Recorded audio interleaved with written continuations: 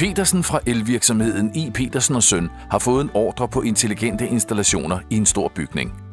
Yes, godt for klimaet og godt for Petersen. Hvor finder man lige kurser til fem elektrikere, der skal være skarpe på bygningsautomatik?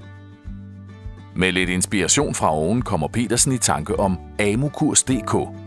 Selvfølgelig. På amukurs.dk kan man nemt finde de kurser, hans elektrikere skal bruge. Snart er Petersen i gang med de intelligente installationer, og overblikket over medarbejdernes kurser og kompetencer fastholder han på amukurs.dk under Min profil. amukurs.dk det er smarte valg for elektrikere og deres ledere.